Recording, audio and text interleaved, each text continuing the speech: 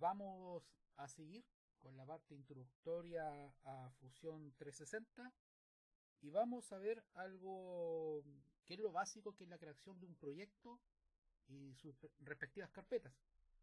Eh, cuando uno empieza a trabajar en Fusión 360 de repente se pierde porque no sé dónde está volando los archivos. Pero para empezar a trabajar en, ese sentido o en ese, en ese flujo de trabajo de las carpetas, lo primero lo vamos a ir acá, el, el show data panel que aparece acá. Entonces voy a ir al inicio. Acá, como dije anteriormente, eh, son todos proyectos que se crean acá. Aquí yo, aquí yo creo un proyecto y se crea una carpeta. Ahora, eh, por defecto aparece New Project, no aparece el nombre de la carpeta. Acá yo marqué New Project, se creó esta carpeta que está acá, que no dice nada o no tiene nada en su interior. Si yo hago un doble clic, por ejemplo, se abre esta carpeta que está vacía. Yo perfectamente podría diseñar en el espacio de trabajo acá y automáticamente se va a ir guardando un archivo acá. Entonces, podría tener muchos archivos o modelos 3D dentro del nuevo proyecto.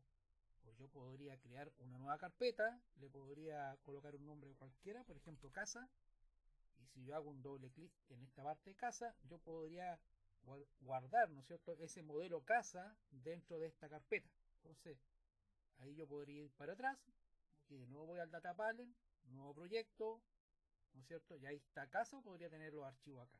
Entonces, son dos alternativas.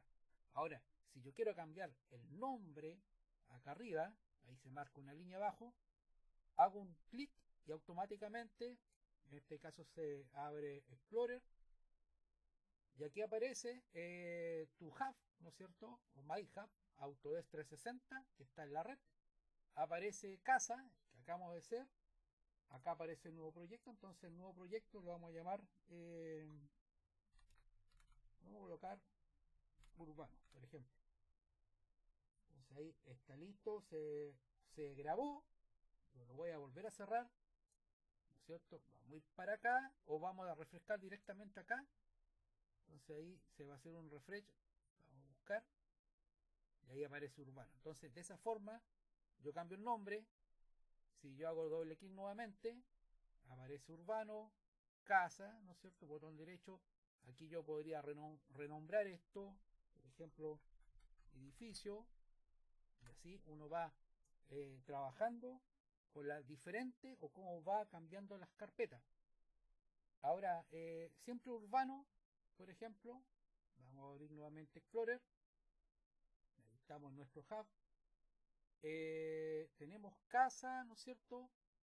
Si yo marco acá, podría eliminar esa carpeta aunque yo también lo podría eliminar directamente Fusión 360.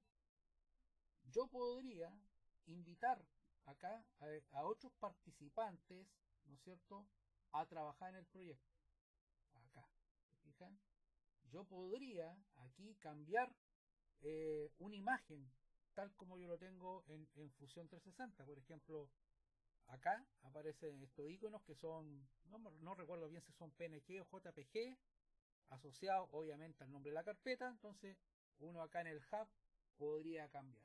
Entonces, eh, de esta forma el flujo de trabajo con carpeta en Fusión 360.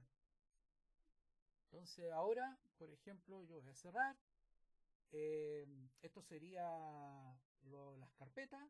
En el próximo video vamos a trabajar con un, un modelo 3D, cómo se va guardando este modelo, obviamente en la nube o también puede darse la eventualidad de trabajar en formato offline.